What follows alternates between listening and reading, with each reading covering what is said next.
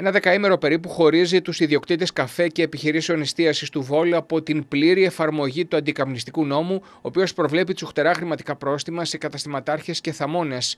Πληροφορίες για τη διενέργεια ελέγχων μέσα στο Σαββατοκύριακο από κλιμάκιο επιθεωρητών της Εθνικής Αρχής Διαφάνειας και αστυνομικούς που έκαναν συστάσεις και δεν επέβαλαν πρόστιμα δεν επιβεβαιώθηκαν από τον πρόεδρο των καταστηματαρχών εστίασης και καφέ μπαρ του νομού Μαγνησίας κ. Στεφάνου επισημαίνει ότι η συντριπτική πλειοψηφία των συναδέλφων του εφαρμόζει ήδη τον αντικαπνιστικό νόμο. Η δικιά μου ενημέρωση είναι ότι σχεδόν το 100% των καταστημάτων στο κέντρο, στην παραλία κλπ. Ε, απαγορεύεται το κάπνισμα μέσα.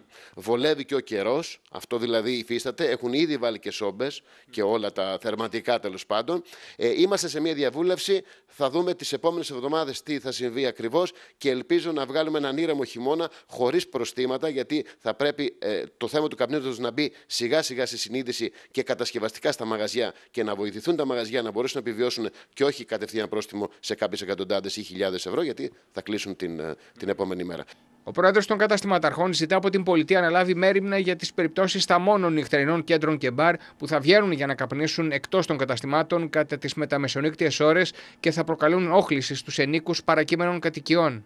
Φανταστείτε ένα μπαρ 30-50 ατόμων ή ένα ε, κλαμπ 500 ατόμων ή ένα μπουζουξίδικο, τέλος πάντων λαϊβάδικο κτλ. να βγάζει 30 άτομα έξω από το μαγαζί του ή 50 άτομα ή 200 άτομα να καπνίζουν και να έχει από δίπλα πολυκατοικίες κτλ.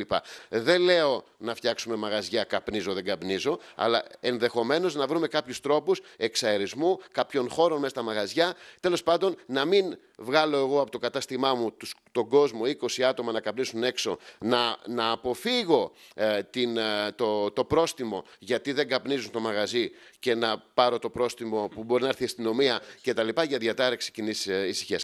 Σε ό,τι αφορά στους ταμώνε των καταστημάτων εστίασης, οι περισσότεροι έχουν ήδη συμμορφωθεί και δεν καπνίζουν σε κλειστούς χώρους παρόλο που εγώ με κλειστό μαγαζί και τα λοιπά, βλέπω ότι βγαίνουν από μόνοι τους έξω να καπνίζουν είναι, είναι πολύ λίγες οι περιπτώσεις που μπορεί να αντιμετωπίσω πρόβλημα του στυλ πάω να φύγω γιατί εδώ δεν καπνίζουν.